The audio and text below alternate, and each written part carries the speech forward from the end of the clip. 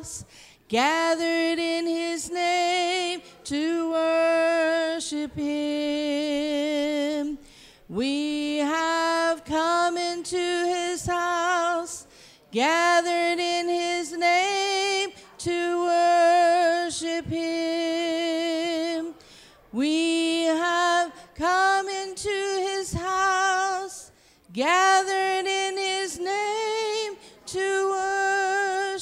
Christ the Lord. Worship him, Christ the Lord.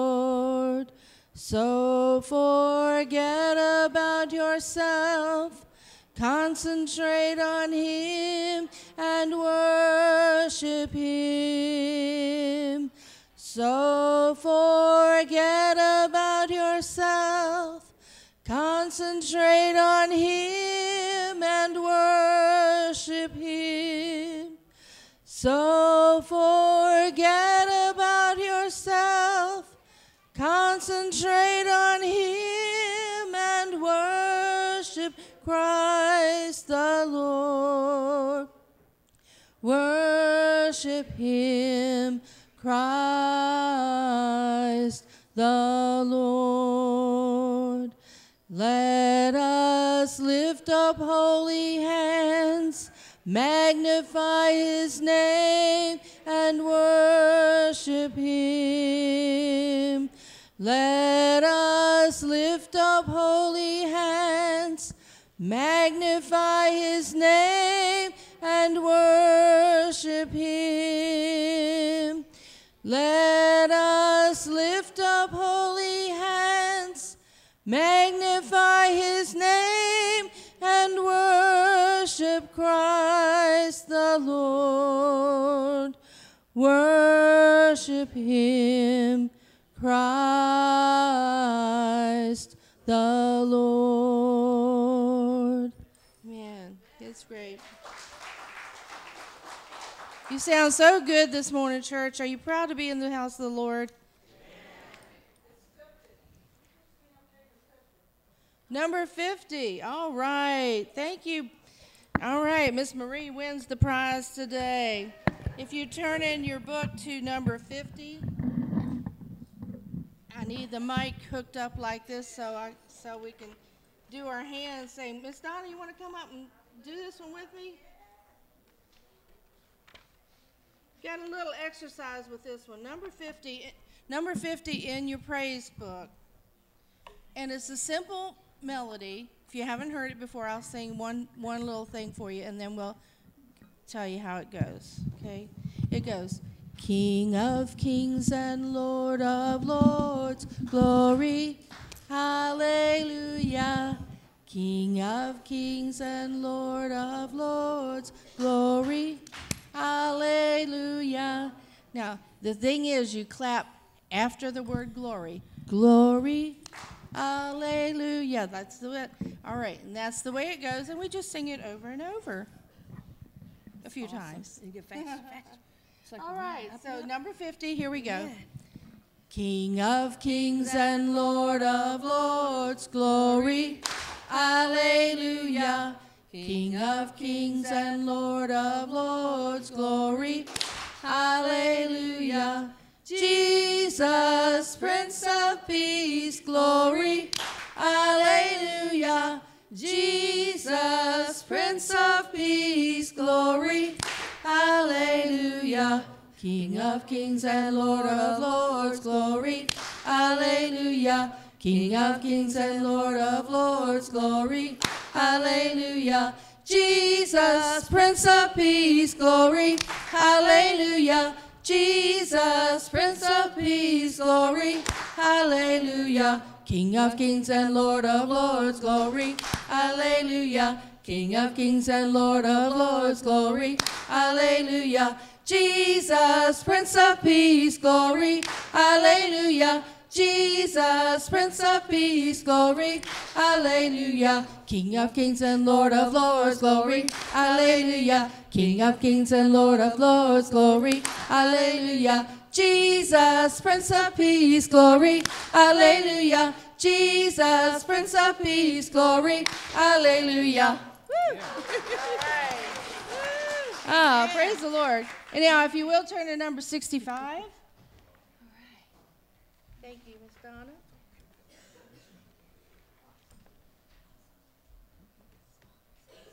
We're not going to sing all of this. It looks long.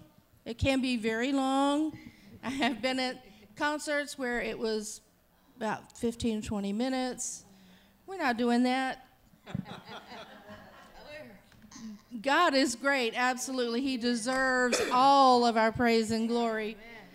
But we don't want to tire out those that are not in that spot right now. so, I mean, there's a time and a season, right? All right, so number 65 How Great is Our God? the splendor of a king clothed in majesty. Let all the earth rejoice, all the earth rejoice. He wraps himself in light, and darkness tries to hide.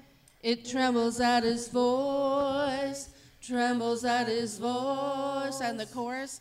How great is our God? Sing with me, how great is our God? And all will see how is our God. And let's do age to age. Let's see. Age to age he stands and time is in his hands.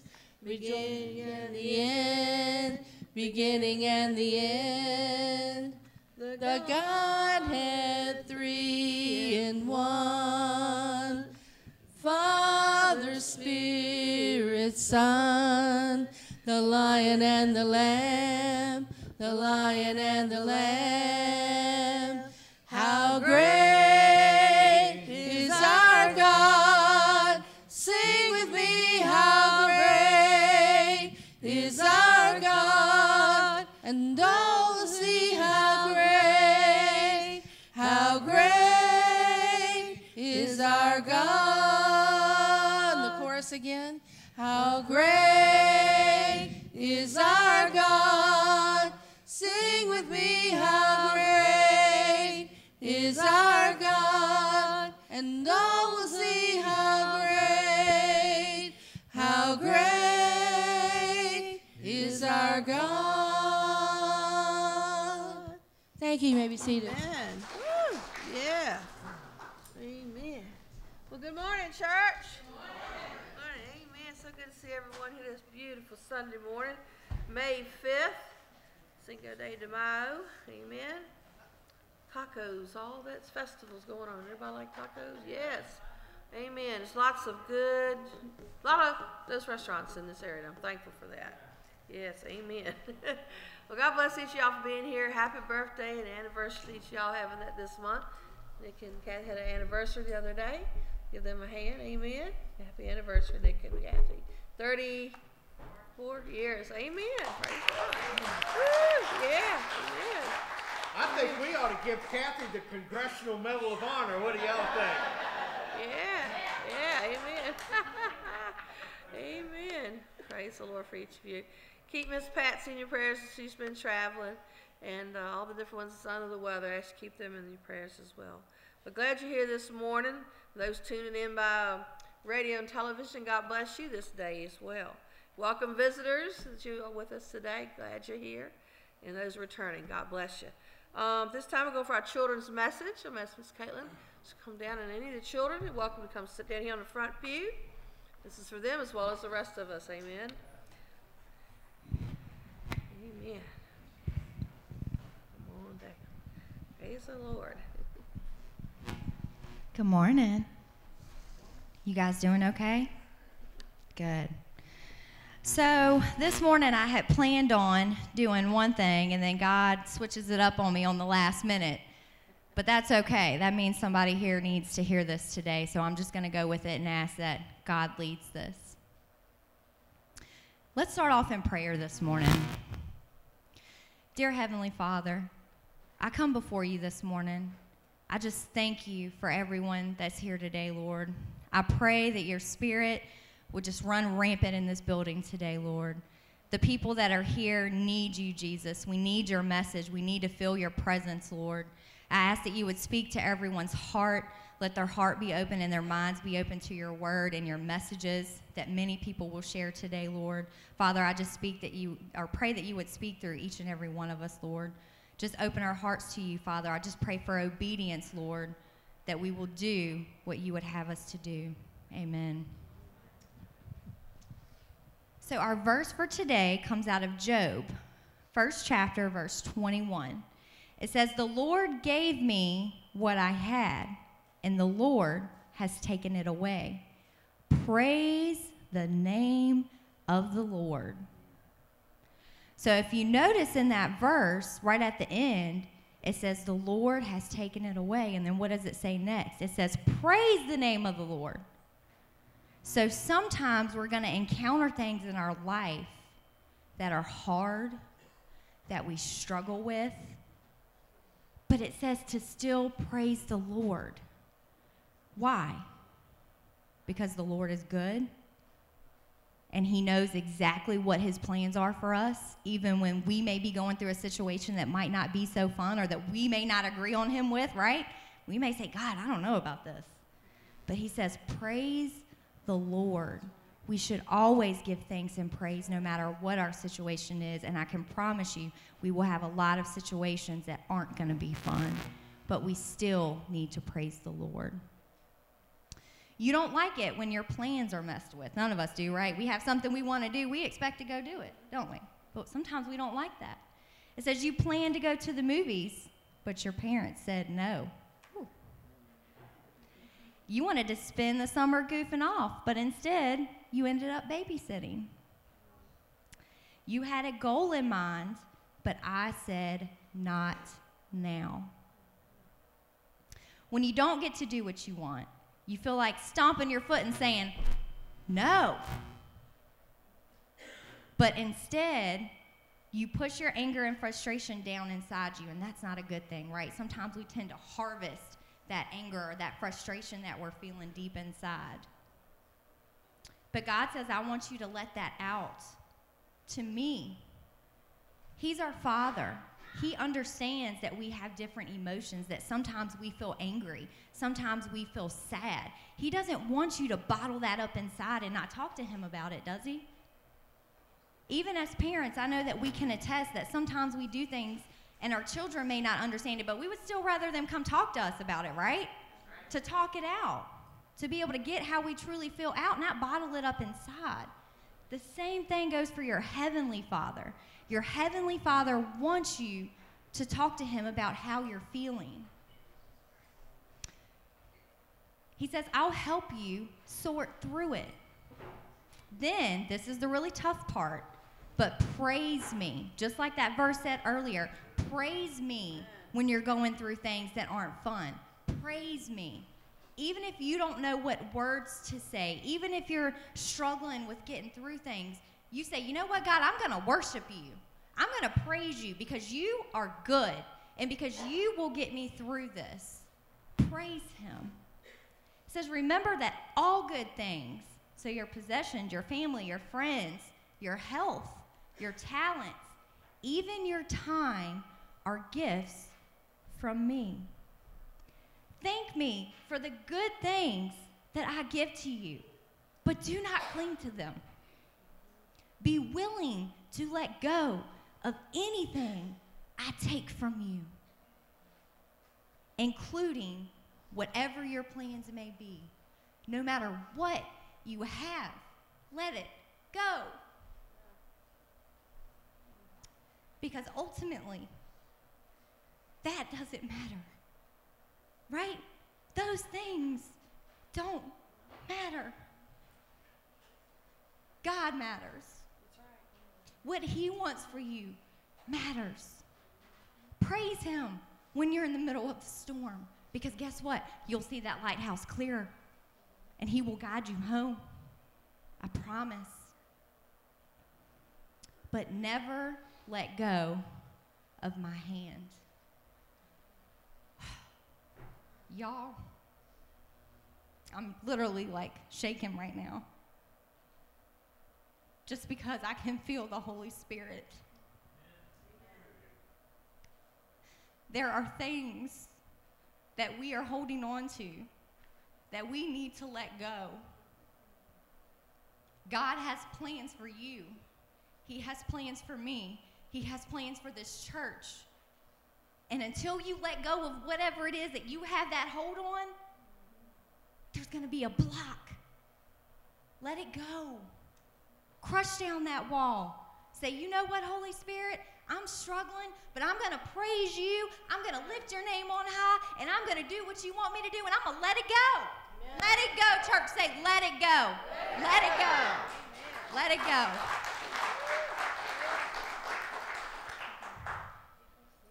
Let me pray. Father God, thank you so much for being in this building with us, Father. Oh Lord, I can just feel your Holy Spirit moving. You're, you're already pulling on hearts, Father, and you're speaking to people, and I can feel it. And Lord, I just pray that we will amplify you, Father God. I praise you. Hallelujah. I praise you, Father. Thank you, Lord, for loving us when we don't deserve it. Thank you, Father, for being the lighthouse when we get so confused by the storms that come our way and we don't know which direction to go, Father, but your word tells us where to go. And Father, I ask that we would all follow your lead. Father, let us hold on to your hand so that you can lead us in the direction that you would have us to go. Father, right now I bind and rebuke anything that has any holds on families that is demonic, Father God. And I pray right now with the blood of Jesus Christ, I rebuke it. Father God, I pray that your Holy Spirit would dwell in the homes of these families. Father God, I pray that our parents would rise up and be what they need to be for their children. Father God, I ask that you would lead and guide them. And Father, give them boldness to do your will. Do not let the enemy triumph them with fear, Father, but you are the winner. Father, you have already won. And Lord, I pray that we can see that. Let us lean on you, Jesus. Thank you, Father. Thank you. Amen. Thank you so much.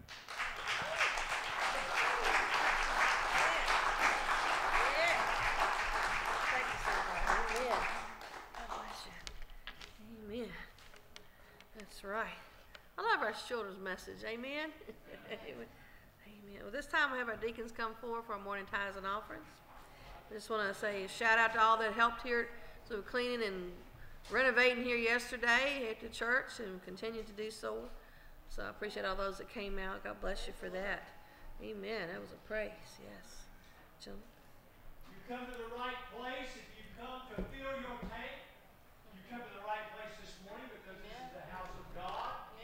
There's more than two gathered in the name of Jesus Christ. You want your tank full? I suggest to you submit yourself into the Holy Spirit in the name of Jesus. Amen. Amen. Let us pray. Living God, holy God, our Savior, our only hope of redemption, deliverance, and everlasting joy and peace relies and lays completely in your person, Jesus Christ. Yes. We ask for your blessing upon us this morning. Yes. Lord Jesus, ply us to submit to your Holy Spirit. Move upon this assembly in your everlasting name.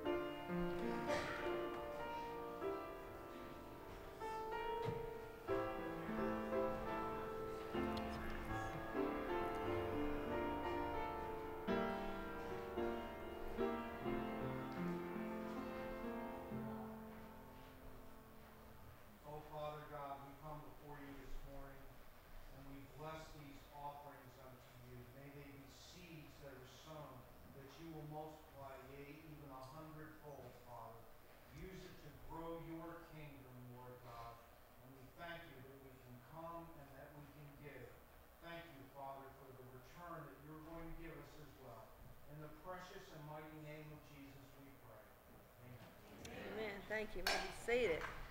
I say, good morning. Good to see everyone here this beautiful morning. We are back to our round robin this week, and uh, I'm looking forward to uh, Lord has laid on his heart, as well as the message this morning as well. But this time I ask uh, Dr. Roger Blanchard, come on up and give us our round robin. I'll give him a hand this morning. Thank you, Miss Donna. If you'll open your Bibles to John chapter 20. Let us pray. Our dear, most gracious Heavenly Father, I thank you for the message you give me today, Lord. I just pray that every word that comes out of my mouth be from you. Ask all in Jesus' name. Amen. Now, we're seeing it on the news. I've had people come up and tell me, ask me, and a lot of y'all probably had it come up to and ask you too. Is Jesus real? Is he there? I'm here to tell you he is. He's been there. If you don't believe me, look outside. Yes, come wintertime, our trees die out. But come springtime, they come back to life, just like Jesus did in the grave. He was crucified, he died on the cross, buried, and on the third day he rose again. So you might as well say that spring is just like a resurrection. Besides, if it wasn't for God, we wouldn't have the trees. We wouldn't have the flowers or the bees that come with it. Well, we're going to start with uh, verse 19. Then the same day at evening, being the first day of the week, when the doors were shut and the disciples were assembled for the fear of the Jews, came Jesus and stood in the midst and saying unto them, Peace be unto you. They're in this upper room, door shut and locked, no windows. Jesus appears to them. And it probably shocked them. That's reason why Jesus said, Peace be with you. It's like saying, All right, Nikki, calm down. Or tell Kathy to calm down when Nikki does something. uh, and when he had said so, he showed unto them the hands and the side. Then the disciples were glad to see when they saw the Lord. Well, I'm trying to do an impersonation of that. But Jesus showed them the nail scarred hands. He showed them in the side where that spear pierced his side. And then they knew that was actually Jesus Christ. Then said Jesus unto them, Peace be unto you, as my Father has sent me, even so send I you. And when he had said this, he breathed on them and saith unto them, Receive ye the Holy Ghost. He's going to save them, save their souls, and then he's going to send them out in the world to spread his word. That's what he wants us to do. He don't want us to, you just don't leave it up to the pastors and the preachers and the deacons to do it. Everybody does it. Everybody. And when he had said this, he, well, sorry, he said that. Whosoever sins ye remit, they are remitted unto them, and whosoever sins ye retain, they are retained. Basically, what he's saying is confess your sins. Tell me about them, and I will take them away.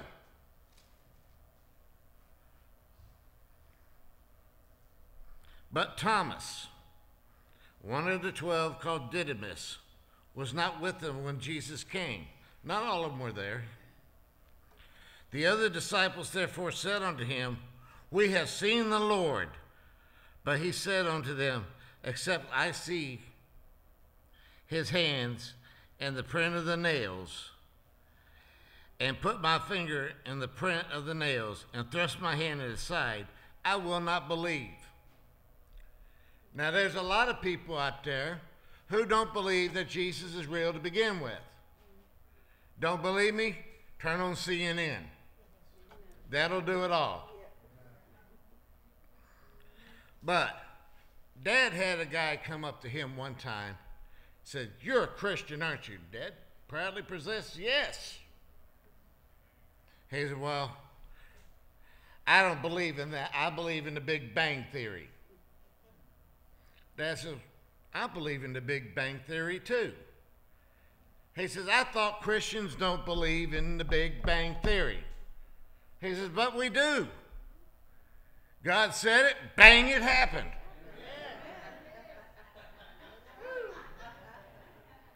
After that, that guy started going to church. After eight days, again, the disciples were within. They was back up in that room now, locked in there. And Thomas was with them this time. Then came Jesus, the doors being shut, and stood in the midst of them, said, Peace be unto you. Again, they getting excited because Jesus was there. He wanted them to calm down. Then saith he to Thomas, now, Thomas wasn't with them. Jesus wasn't there when he said it he touched, touched Jesus. Then say ye to Thomas, Reach hither thy finger, and behold my hands. And reach hither thy hand, and thrust into my side. And be not faithless, but believing. Just because you can't see him, don't mean he's there. And Thomas answered and said unto him, My Lord, my God. Now Thomas is believing. Sometimes it takes something like that to make you believe. Something shocking.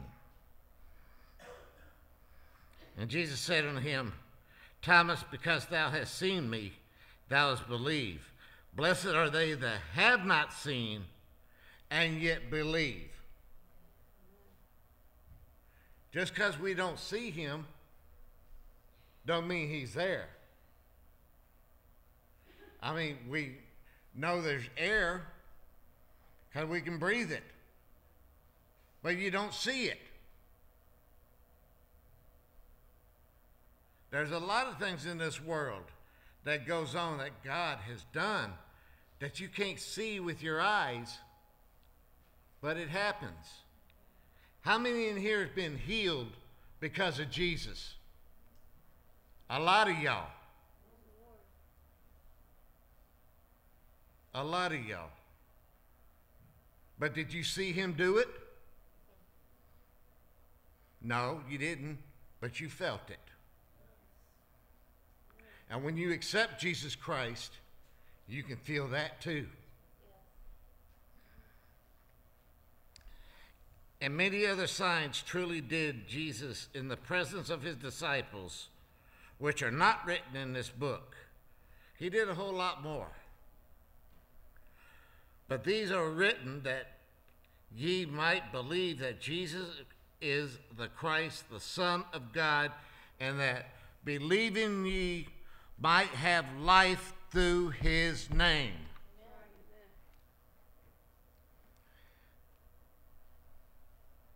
Do you want to go up or do you want to go down? You go down, you should be old Slewfoot.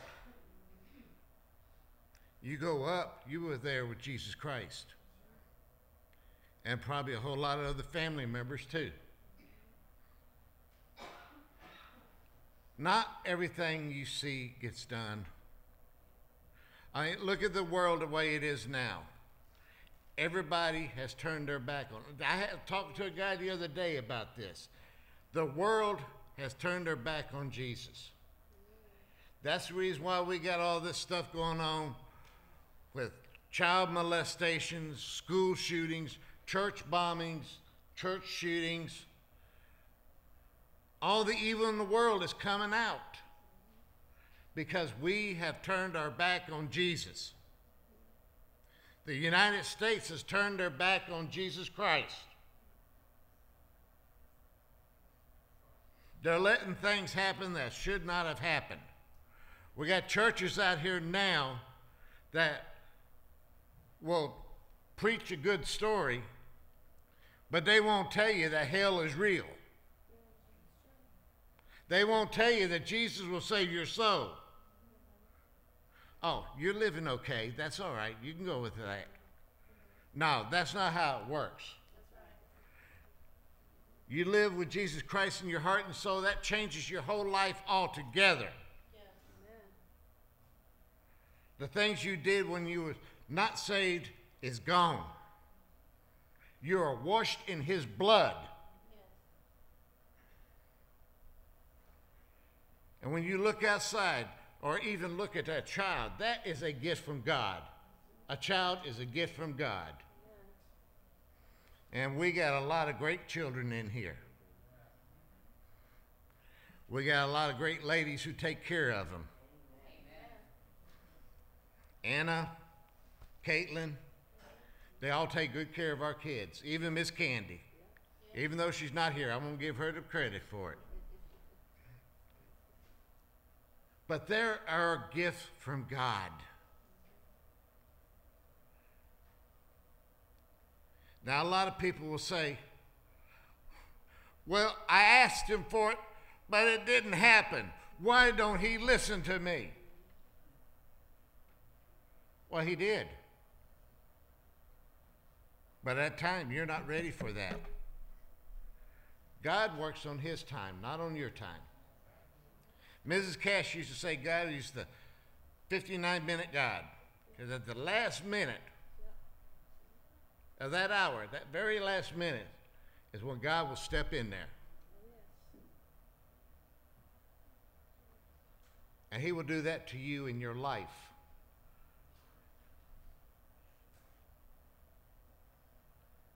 God is there all the time. He is in this room right now. Bible tells us when two or three are gathered in his name, he is there in the midst of us. So he is here. Praise him. Give him the glory.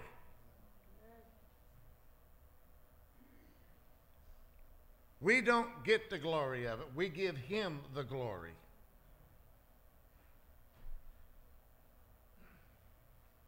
So the next time that you're in a situation or you get healed without the doctor's help, as an example, my hand. They thought there was a whole bunch of nodules in there that they would have to cut out. There wasn't no nodules in there. The only thing they found wrong was one of my tendons had started fraying. And he cleaned that up. And he couldn't understand why, when he was before the surgery, feeling my palm, and he could feel him with his fingers, and then when he cut me open, there he ain't there. That was only God that could do that.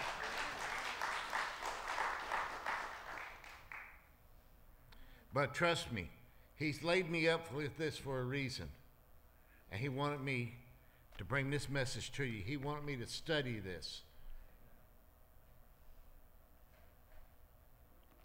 He wanted me to make sure you got this message. Just because you don't see him don't mean he ain't there. I mean, mothers with your children, you're in the other room. Kids in the other room. I know mom used to do this to us. All right, kids. Y'all better not be doing what I think you're doing in there, because if you are, I'm going to tan your hide. How many parents has done that? You just know they're in there doing something they shouldn't be doing.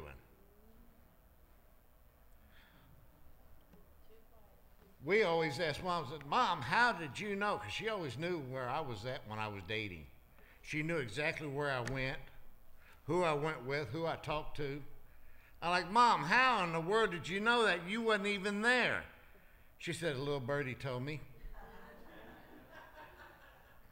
I said, Mom, that wasn't a little birdie, that was a stool pigeon. but all parents does that. I know when my daughter ain't feeling good and she don't even have to call me.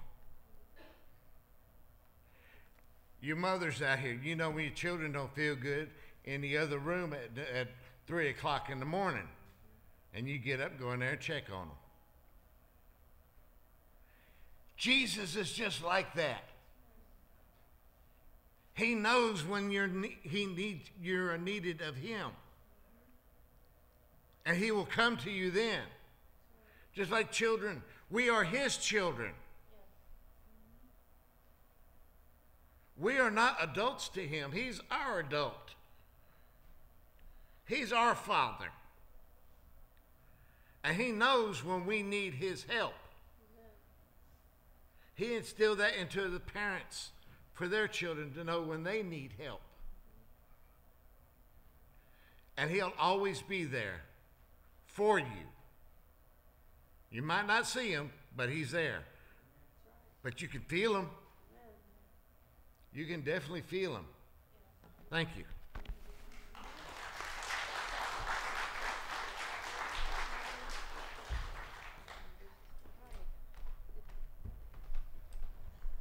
Praise the Lord for that. That, well, in following with um, last week's service with Sister Angela and how God's power was on her, um, I'm just reminded that in, a, in this world that we're living in, we, we're, we already know we don't have many days left. We got 10 minutes left, according to Angela. Um, we got 10 minutes left. So we need to get into action. And one of the things we need to do is to stand up wherever we are, stand up for Jesus. So we're going to sing that today. If you turn in your hymnal to number 413, and we're going to sing Stand Up for Jesus, the first and last verses. Number 413.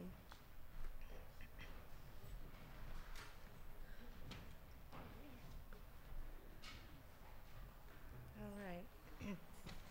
Stand up, stand up for Jesus, ye soldiers of the cross. Lift high his royal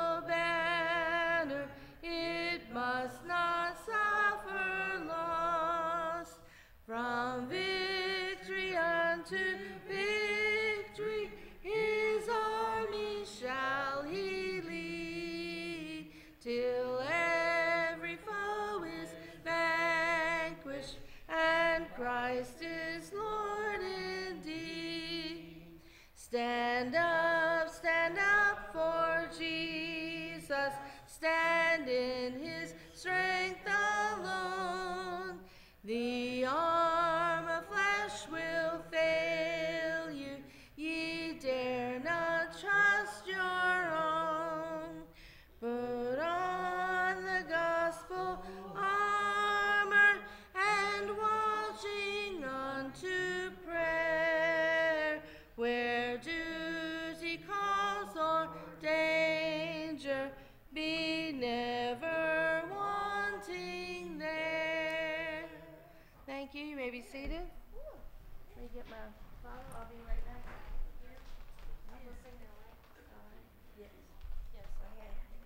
All right. Put this here. Brother Roger, if you will.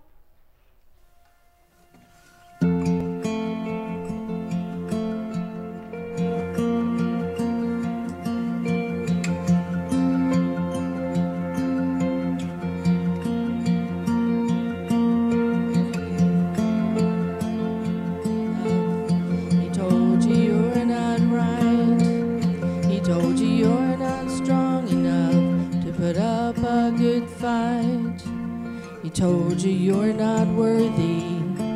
He told you you're not loved. He told you you're not beautiful. You'll never be enough. Fear, he is a liar. He will take your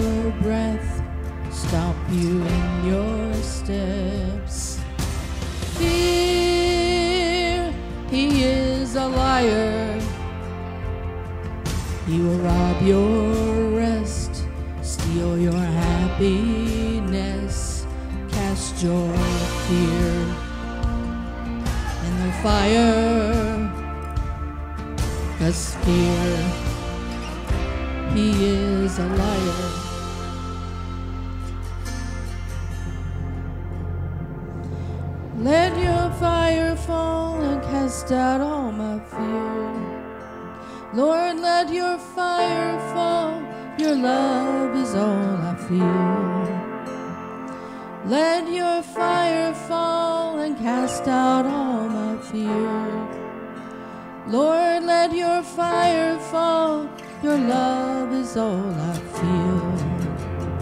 Lord, let your fire fall and cast out all our fear.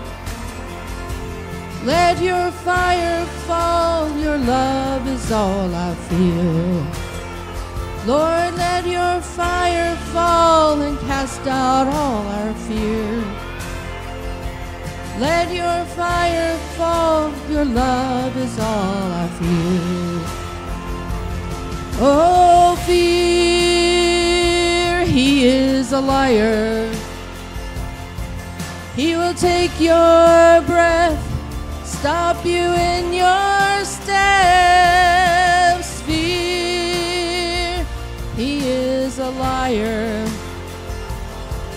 He will rob your rest, steal your happiness, cast your fear in the fire.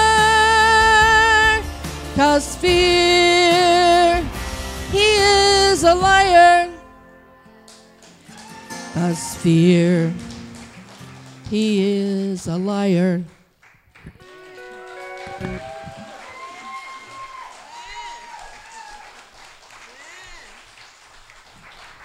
Thank you, Miss Lela. Amen. It all on the Lord. Amen. Amen. Evangelist, we'll have our scripture reading, and I ask Brother Mike Duff to come for that. And after that, our children six to eight, meet me in the back. We'll have a class upstairs for you. Amen. Good morning, church. Jesus said, Fear not, for I am with you always. I believe He's with us right here. I have a couple announcements before I get started in Scripture today. Yesterday, as everyone knows, we worked here at the church. Long day yesterday. We had 15 people from the church show up. Awesome. Awesome. Because usually when you have a work day, you know, it's usually like three or four of them, and uh, they're kind of hiding around. And I'll be honest with you, I've been one myself. I'll, I'll be honest. But I'm telling you, we all came to work yesterday, and it was awesome. We got a lot done yesterday, folks. We're going to beautify this church because you know when we really get right down to it, it's like Dave says, it's not his church, and it's not really, it's our church in a way, but it's God's house. And we want God to be recognized. You know? This is a beautiful, I tell you, everybody who comes to this church, even with that right there looking at you, I'm telling you, it's one of the prettiest churches I have ever been in. And beyond that, the Spirit of God is in this place, I believe, 24 7.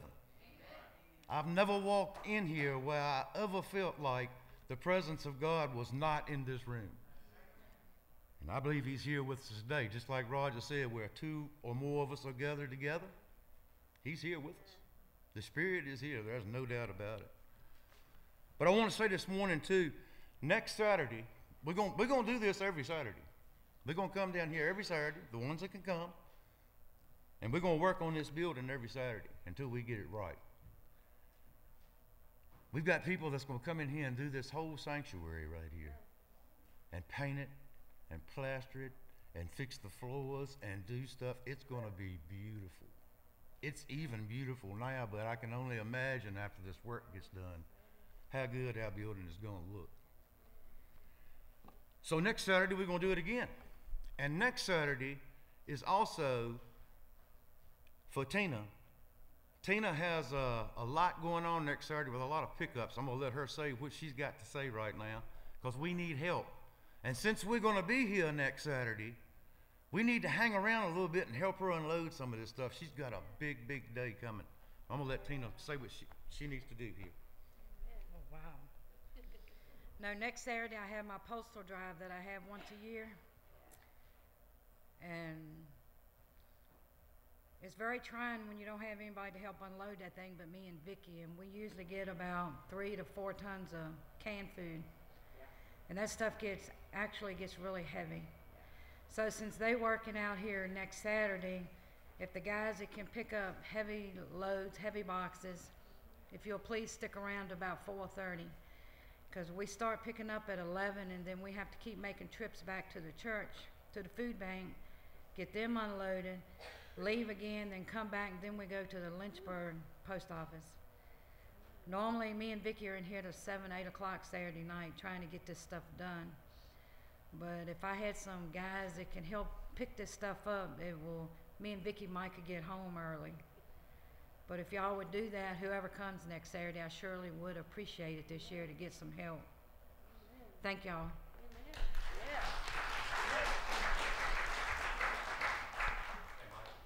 Yo. So, like she just said, next Saturday, so Vicky and her, they're, they're moving four to five tons of canned food themselves. And they work the food bank the entire week by themselves, besides the couple days that other people pick up. So I'm gonna be really disappointed if a lot of people don't show up to help these two ladies. Amen. Amen. All right. We need to help, folks. We do. We need to help. That's a lot on. That's a lot on Tina and Vicky back there. That's a long week right there. I did it myself for six years, and I'm telling you, it's a long, hard pull right there. And plus, they're getting a lot more now than what they what we've ever gotten. That's it. That's what we're doing. We're just helping people who need help. You know, they don't get paid for this. Nobody gets paid for the work we do in here, but we do get a paycheck. And it's storing all your treasures right up here in heaven. That's the way I look at it. So don't let a few of us get all the treasures.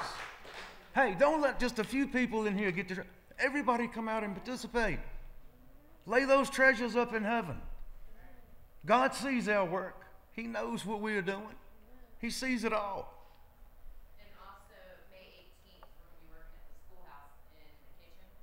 Um, pulling everything out, sanitizing, cleaning, and getting rid of stuff we don't need. Yes, indeed.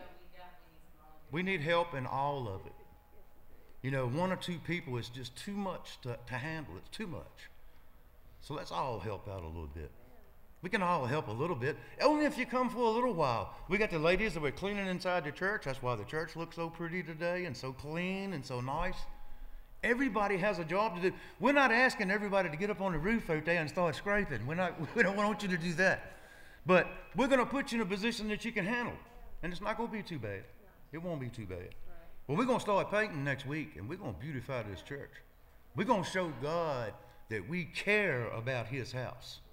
And we're going to take care of it. I, I thank God every day that we have this place to come to. Because in the world we're living in, just like everyone said before, it's going to hell in a handbasket pretty quickly. No doubt about it. And Jesus said it was going to get a lot worse. These pastors on TV, they're telling you that, oh, wait till next week. You send me 1995 and your world's getting ready to change. It's not going to happen, folks. It's not going to happen. Only God can do that. Only God can do this. I mean, we've got a good crowd here today. We've got good people in this church. And they, you all are going to be needed. Every single one of you sitting in this room right here today. Because there are going to be times coming, I'm telling you, folks, they're going to flock to you. Because dangerous and perilous times are here. We're not waiting for them, they are here right now.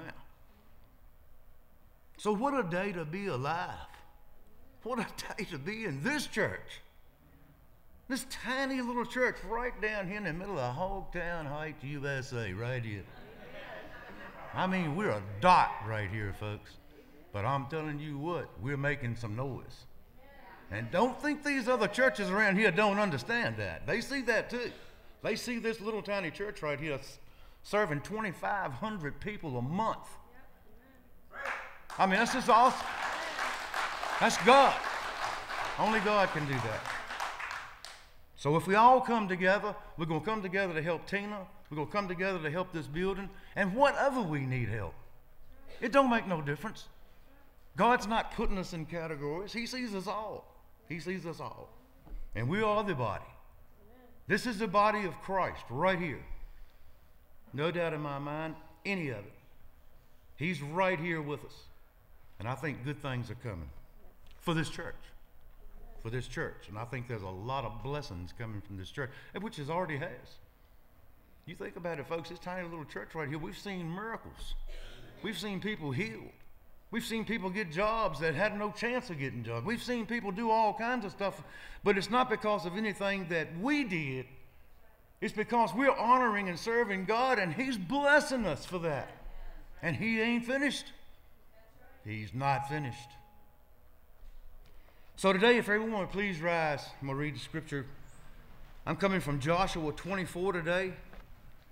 I'll be reading 11 through 15. Coming from the book you can follow right along. When you crossed the Jordan River and came to Jericho, the men of Jericho fought against you.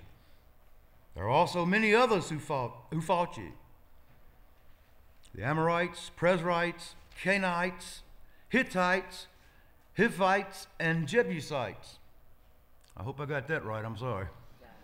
But I gave you the victory over them and I sent hornets ahead of you to drive out the two kings of the Amorites. It was not your swords or bows that brought you victory. I gave you land had not you had not worked for, and I gave you cities that you did not build, the cities in which you are now living. I gave you vineyards and olive groves for food, though you did not plant them. So honor the Lord and serve him wholeheartedly. Put away forever the idols your ancestors worshipped when they lived beyond the Euphrates River and in Egypt. Serve the Lord alone. But if you are unwilling to serve the Lord, then choose today whom you will serve. Would you prefer the gods of your ancestors serve beyond the Euphrates? Or will it be the gods of the Amorites in whose land you now live? But as for me and my family, we will serve the Lord. May God bless the reading of His word. You may be seated.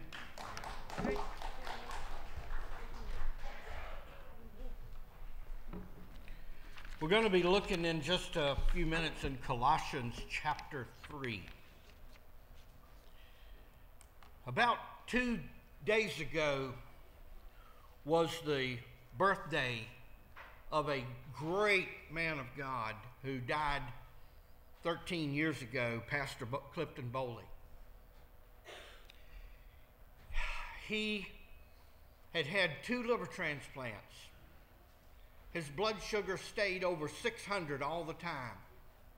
His triglycerides were in the thousands, and he walked around with total kidney failure most of the time, but he still got up every day and came in, and he was the principal of the school. He was the assistant pastor of this church, and in that condition, he would even go and pray for people in the hospital, and no one knew what was wrong with him. They had no idea. They thought he was fine, and only a few people knew what he was dealing with to serve the Lord.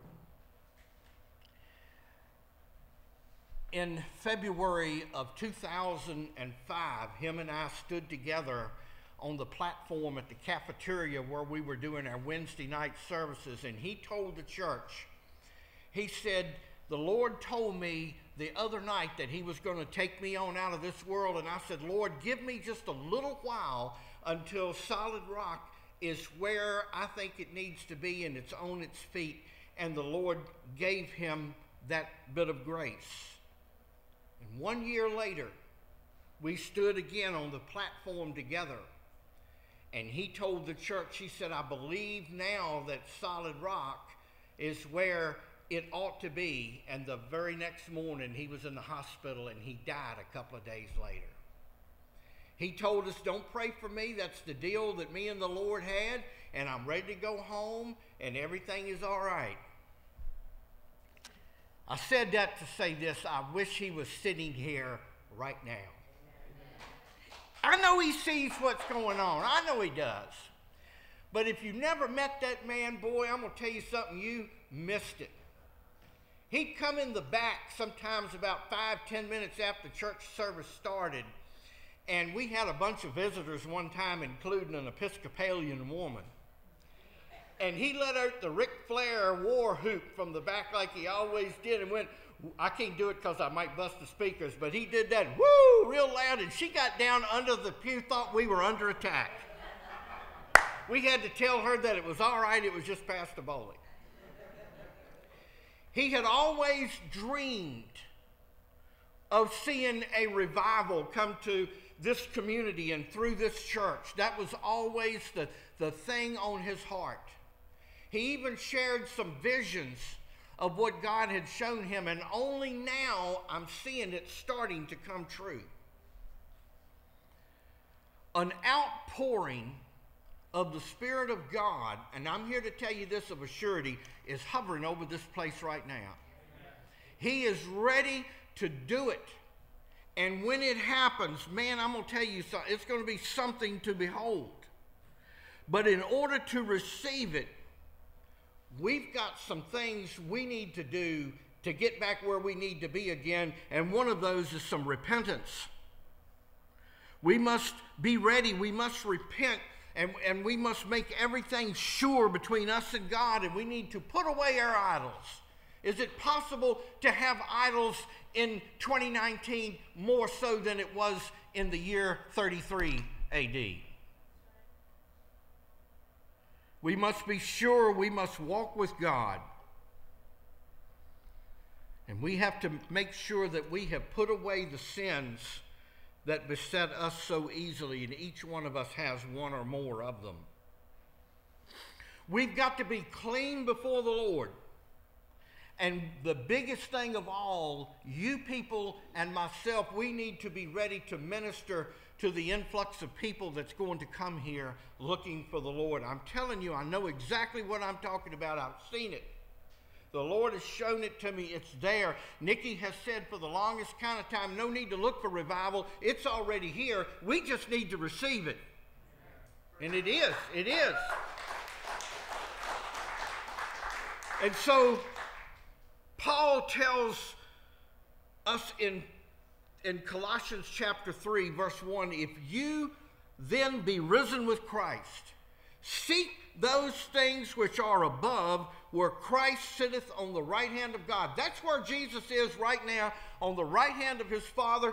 And at any minute, the Father will tell the Son, Go get your bride. It's time. I don't know when that'll be, but I know it is soon. I've been studying prophecy for years and years, and I'm seeing everything that has to be done has come true. It's ready, it's time, and all he has to do is come and get us.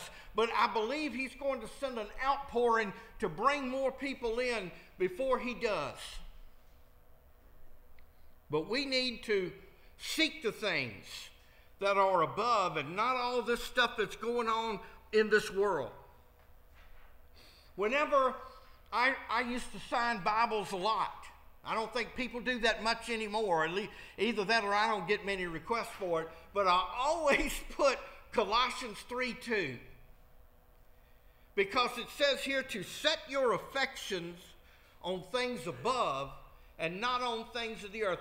Where is your heart at? Where is your love? What is it that really does it for you? Is it the pleasures of this world or is it really heavenly things? And only you can answer that question. You need to focus on the things that are above because those are the only things that will last. That's where our sights are at. And, and, and wherever you set your sights, that's what you're going to shoot at. Or in this case, shoot for. Your sights needs to be on things that are above the earth. We are doing what we do here not to put on a show, but it is for souls. There is nothing on this earth that is better or greater than to see somebody give their life to Christ, watch their life turn around, and watch God do something with them. There is nothing greater than that. That's what we're here for. And if we're not here for that, we need to go home and, and, and prop our feet up and watch Joel Osteen grin for about an hour and tell us that we're going to have the best life we've ever had. Wait till you hit your 60s and see if you're having the best life that you've ever had. Right. Where is it? Huh? Where's it at? Give me a break. Lord have mercy. He said, For you are dead. Do you realize that once you become saved, once you give your life to Christ, the old Dave, the old Caitlin, the old Nikki, the old Matt is dead. Boy, it tries to resurrect every once in a while, though, don't it? It does. It does. Man, I tell you one thing, it's like working in a funeral home, and you ever been to to Showbiz Pizza where they had that hammer and them things kept popping up and you keep having to knock it down. It's like doing that in a funeral home. You have to shove them back in that casket and close it and they keep popping up. I wouldn't work there if that happened. I can tell you that right now. But it's like that. It's like the old man keeps trying to come up, but he's dead. The old man is dead. You're dead, and your life is hid with Christ in God. You are a new person. I, I love the story about one of the earliest church fathers, if you will, named Augustine. Some people called him Augustine. He was a very prolific writer, but before he got saved, he was the biggest womanizer on the planet at that time. He chased everything. And he was really, really rotten, and his prayer to God was, God, make me chaste, but not yet. He did. At least he was honest. And when he got saved, he, he put that away. He turned completely away from all the womanizing. And he was going down the street one day, and a prostitute that he used to frequent saw him on the street. And she stepped in front of him and said, Augustine, it is I. And he ignored her and kept walking. And she kept doing it, and finally she got right up in his face and said, Augustine, it is I. And he looked at her and he said, Yes, but it is not I. It is not I. That's the difference. You are dead and your life is hid with Christ in God. And if we are going to see an outpouring of the Spirit, we need to be walking with Him and we need to be sure. When Christ, who is our life, shall appear, and He will, buddy, let me tell you, He shall appear, then you shall appear with Him in glory. You know, the older I get, the more I understand just how short this life really is. Does anybody realize how fast April went? Where is it at? Boom! And it gets faster and faster. And for all you young people that thinks time is dragging, hang in there just a little bit. You'll see. But one day we will appear with him in glory And it won't be no living till you're 50, 60, 70 years old. It'll be forever. There will be no time there. And that is something certain to look forward to. But if we're going to do it, we got to keep killing that old man. There's some parts of our life that each and every one of us could, the Bible kindly puts it, mortify. In the Old English, that really means to put it to death, kill it. And so there are some things that we have to do, and only you can answer that question. Only you know what the pet sins are. You and the devil, he knows, and the Lord knows. And the devil will, he knows what it takes to get your goat, and he will hit you with that. The devil is not going to tempt me to go down here and rob Wells Fargo tomorrow. I have no interest in that. But the devil does know what I am likely to do, and those are the buttons that he will push. Same with you. He knows what you are tempted to do, and he will keep you doing that if you don't listen and stop doing it. So here he says, Mortify your members which are upon the earth.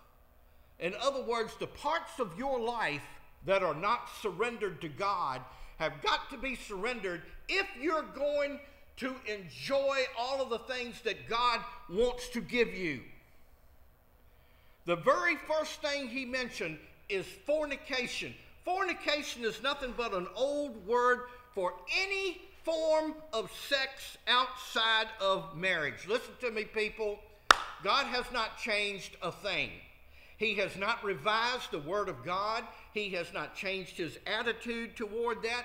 He created sex to be enjoyed between a married man and woman who are married to each other. Period. Anything outside of that is considered fornication, and you are not walking with God if you are practicing that sin. We were watching uh, uh, shows on different types of birds. You can tell I have an exciting life. Donna and I were watching, my favorite are crows. I love crows and Canadian guineas. Don't ask me why. That's weird. I know that. But these birds, they mate for life. And they don't go outside of that circle unless one of them has died. And they stay together and they raise their kids and on and on and on. And we don't have the sense that God gave a bird. We don't. It's true. You're welcome. but we need to clean up our act. He mentions a number of things impurity or uncleanness, inordinate affection, sinful passions. There's nothing wrong with passion. There's nothing wrong with having a, a, a, compassionate heart. But evil passions will get you in trouble quicker than anything in the world. Then he mentions evil desires and covetousness, which is idolatry. If we spend our days wanting what so and so has up the street and that we wish we had this or that or this or that, that is idolatry. Be content with what God has given you. And we need to put these things aside and quit worrying over all of these sins and, and, and trying to see how much we can get away with and still get to heaven and all that garbage. We need to stop it. We need to walk right with God. Let me say this. You think you might be giving up a whole lot by doing that? No, no, you are not. You're not giving up a blessed thing. You are gaining. The approval of God and going to bed at night knowing that everything is okay between you and the Lord and all men, I'm going to tell you that's worth all the money in the world. And he said, For which things' sake the wrath of God comes on the children of disobedience. God's wrath is still there just because he didn't do something about the way you've been living today does not mean it's not going to happen. God is patient and he gives you every chance to repent, but when you don't, buddy, the wrath is coming. What you know, I bet sin wouldn't be so popular if we got our payment the moment we did it. You ever thought of that? I bet we'd be scared to death to do that then. We'd be trying to walk with the Lord with every bit of our might. we also ought to thank God he don't do that. In which you also walked at one time when you lived in those sins. And then he said, Now let's put this away anger. Let's stop being so mad all the time. There are some people, I think they're mad at the entire world. You know what? All of these things like anger and stuff like that will eat at you like a cancer. And it will literally make you physically sick if you hang on to it. Anger. And that's been a real tough one right there, being Irish, man. I tell you, even Irish Alzheimer's, we forget everything except the grudges. But it might be in you to be angry all the time. You need to put that aside. You need to get rid of it out of your life, or you'll never amount to a hill of beans for God if you do that. And wrath, always wanting to get even, always wanting to show your wrath to somebody. Aren't you glad God doesn't do that with you? Put away malice, that means evil intent. Put away blasphemy and put away filthy communication out of your mouth, obscene talk that does not become a child of God.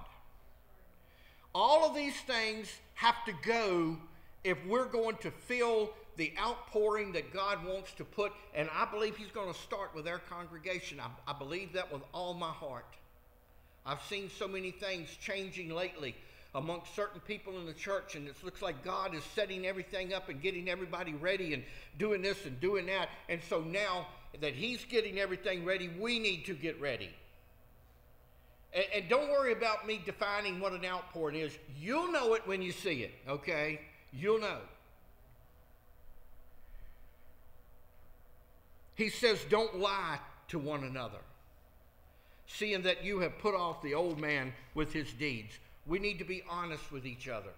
I know that's tough sometimes, but he says, Lie not one to another. Don't tell a lie. If you tell a lie, and I, I, know when somebody's lying, usually I can watch the way their eyes are moving. I'm real good. I observe people, so don't try lying to me. I'll catch you in it.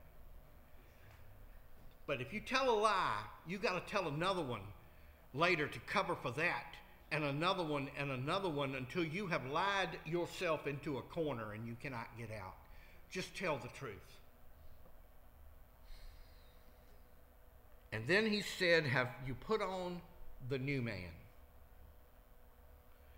If some of y'all put on the new man, you will scare your family half to death. That's all right. You are a new person. Start acting like a new person. Start walking like a new person. God will bless you for that. If you want your church to grow, start acting like what you really are. If you're really saved, if you're a Christian, start living like that in front of other people, and they will want to know what it is you have that makes you so different, that doesn't rattle you like it does everybody else. Put on the new man, which is renewed in knowledge after the image of him that created him. If you want to start renewing your mind, there is no shortcut. Start reading this. For any of you that have never started doing that, begin first of all with the book of John. Read the book of John all the way through. Then read the book of Romans all the way through, and then start from Genesis and then work your way through the Bible. That will help you tremendously, and it will change your ways, it will change your mind.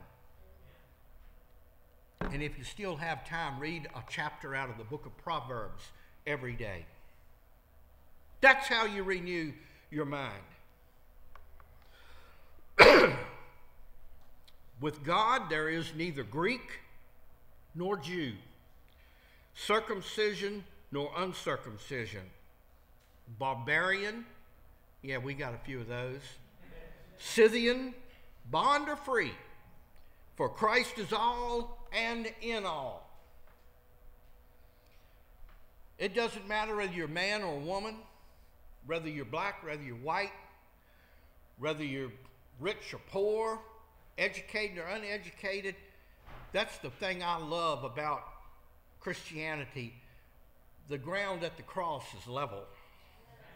There is no, when, when you stand before God, He doesn't care what degrees you got.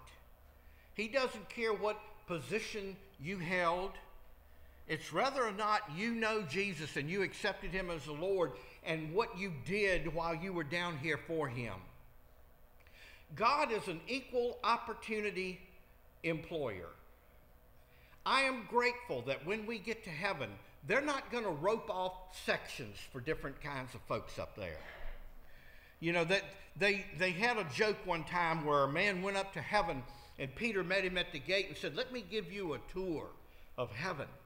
And he went to this one place and there was a, a, a large group of people and, and, and, you know, they were just kind of moderately, you know, making noise and enjoying themselves. He said, Who is that? He said, Why, they're the Methodists.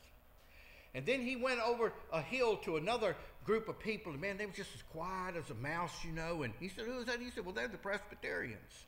And then he went to another one, and man, they were hooping and hollering. And he said, Well, those are the Pentecostals. He said, Well, come on with me, but don't make a sound. And they went a long ways to the other end of heaven, and there was this great big group of people. And, and Peter said, Now, don't, don't disturb them.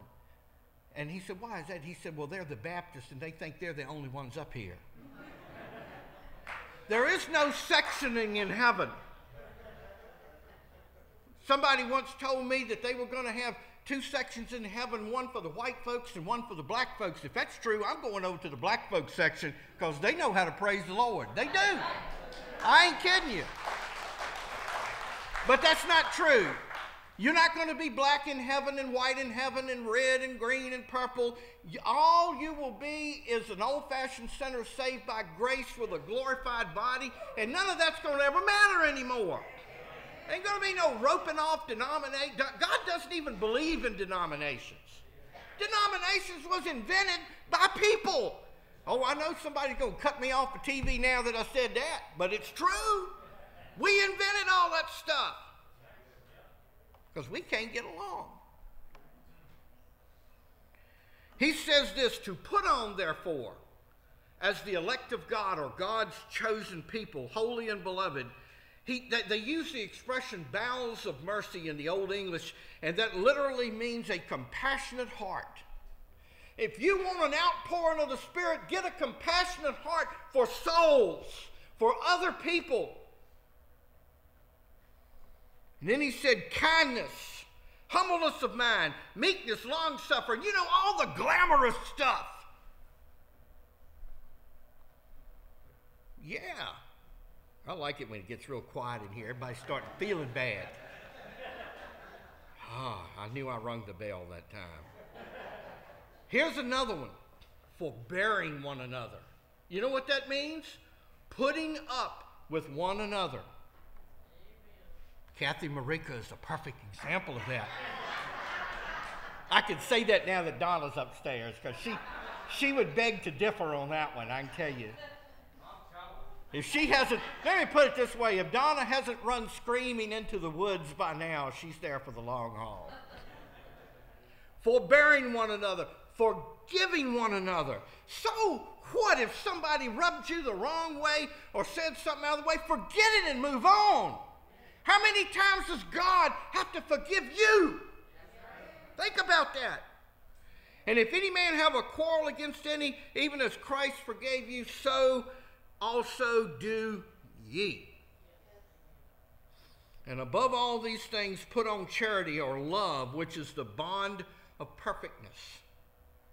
As a Christian, we have to learn to love one another. And I know that's difficult because there are some people that are, um, let's be honest, that are flat out unlovely. They are. They really are. But you know what? In God's eyes, probably you are too. And so we've got to learn to, to love one another in spite of our differences, in spite of our whatevers. And let the peace of God rule in your hearts, to the which also you are called in one body, and be ye thankful.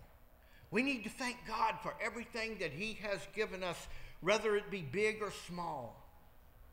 And we need to let the peace of God rule in our hearts and not have turmoil and chaos and drama all the time. Those things are not fit for a child of God. We need to calm down and know that He's got this, that He's going to take care of this. And let the word of Christ dwell in you richly in all wisdom If you want wisdom, here it is right here in this book called the Bible. Teaching and admonishing one another in psalms and hymns and spiritual songs. I'm so grateful for the people that know how to do music in this church. And I will be glad when, according to the Bible, when our chief musician is back next Sunday, Lord willing. I, I miss her terribly, but I don't see her and her guitar right here. And anyway, y'all pray for her that she get they get back safely this week and she'll be all ready to go. We need to sing with grace in our hearts to the Lord. And finally, whatsoever you do in word or deed, do it all in the name of the Lord Jesus, giving thanks to God and the Father by Him. When you're scraping a door on this building, you do it to the Lord and not to impress anybody else. When you're sweeping a floor, when you're picking up food, when you're giving out food, when you're singing a song, when you're teaching a lesson, when you're speaking, when you're witnessing, when you're praying, you do it all to the Lord because He is the only one that matters. And He is the one that you want to hear say, Well done, not somebody else. I want to hear the Lord say, Well done, and that is all that matters. So, folks, I'm, I'm here to tell you, and like, I, like uh, Mary said this morning, our church services can never be the same again. Not after what we have been seeing lately and watching the Lord moving. And, and, and the Lord impressed on me Friday night to speak to y'all this morning about getting prepared for what He's going to do. I've been in a couple of things like that in my ministry, and I've been ministering for about 34, 30, close to 35 years. And I've only seen it a couple of times, but I know what it looks like before it comes, and I'm telling y'all, God is getting ready to just pour it out on this congregation right here, and you will never be the same when that happens, but you've got to be ready to receive it from Him. And that means let's get serious about our walk. Will it cost you something? Yeah, it, it's really going to cost you a little something. It will but it'll be nothing compared to an eternity, and it'll be nothing compared to what you're going to see God do with each and every one of y'all's lives. And don't look and say, well, that's for so and so over here, that's for him or her. He can't use me. Let me tell you something. If he can use me, buddy, he can use you. I'm here to tell you that. I ain't nothing. And he can take anybody and use them mightily for the Lord. You just got to say, like I did one time on my knees on the side of the road when I was 27 years old beside my car. I'd had enough of God chasing me and yanking the rug out. I threw both hands up and said, All right, all right, all right, I'll do it. Don't get to that point. Go on and do it.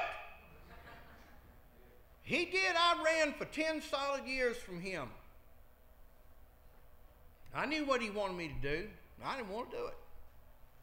And after I surrendered to him, I wished I'd been doing it for those 10 years. It's the greatest thing in the world to me. The devil will fool you. He will tell you that's for somebody else here this morning. God can't use me. I, I'm, I have no education. I have no training. I don't know nothing about God's house. I don't know nothing about the Bible. He'll train you. All he wants you to do is surrender and give him that old man and let Him change you into the new man or the new woman or whatever. And if you yield to Him and don't listen to Satan, He will make a huge difference in your life forever. That's all you got to do. Give it to Him this morning. Let's bow for the invitation. The first thing you need to remember is if you have never been saved, we're going to invite you to come when we stand and people come forward and you take one of the prayer warriors that's going to stand down here by the hand and say, I need to be saved. They will pray with you and lead you to the Lord.